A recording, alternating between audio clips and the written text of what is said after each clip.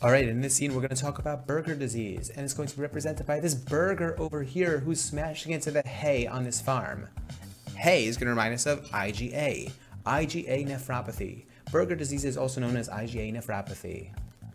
So what happens in this condition? In this disease, as the name suggests, there's going to be a buildup of IgA-based immunocomplex deposits in the mesangium of the glomerulus.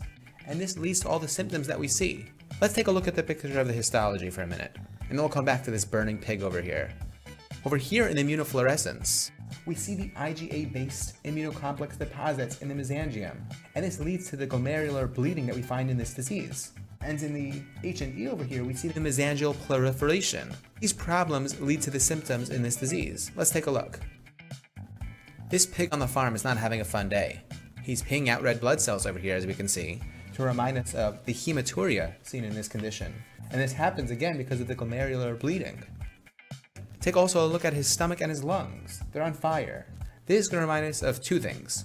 First of all, it's going to remind us of the abdominal and flank pain seen in patients with this disease, but it's also going to help us remember a more high-yield fact, and that's that this condition usually happens following a respiratory or GI tract infection, and that makes a lot of sense, because IgA is secreted by mucosal linings, such as that found in the respiratory and GI tract.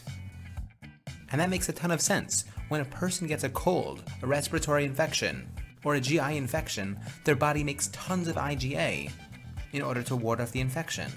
The good news is that when the respiratory or GI tract infection resolves, then IgA production will decrease, and thus the hematuria and other symptoms may resolve. Okay, I hope you enjoyed this scene on Berger disease, IgA nephropathy. Please subscribe to the channel and take care.